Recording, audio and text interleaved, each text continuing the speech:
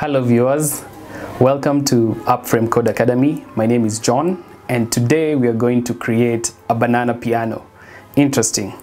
So we have the bananas right here and we'll use a controller kit and a PC and from there we'll create a keyboard using the bananas and we'll get to play our favorite songs with the bananas. My name is Wangai Njoroge at Appframe Code Academy. Here with me, I'm making a banana piano using eight eight bananas, a controller kit, and piano guide in my PC. Let's get started. Wangai, what are we starting with today? Um, I think the I think the alligator clips to the controller and then starting to connect the bananas to the controller kit.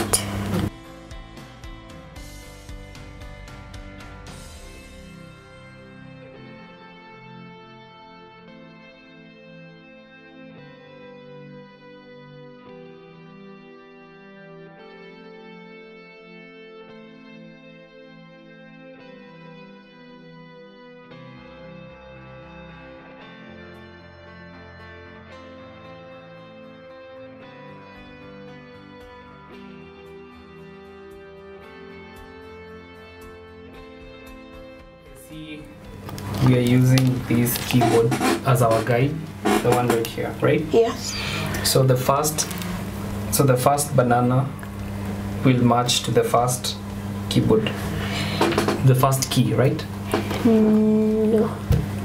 Okay. I'm going from the lowest to the highest. Okay. Yeah, and they're not in order. Okay. Yeah. Oh, that's awesome. So the sound of the bananas will be from the lowest to the highest sound, right? Okay.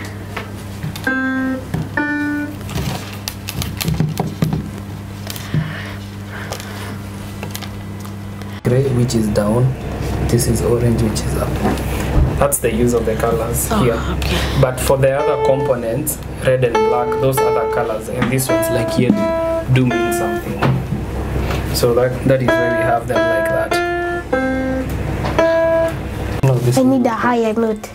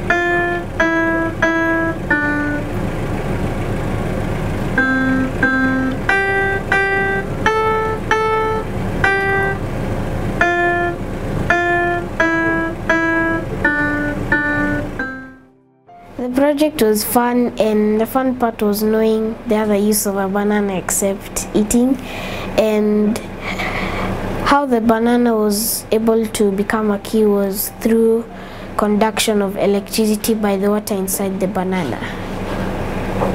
Now we are done with the bananas, and this is the other use of the bananas.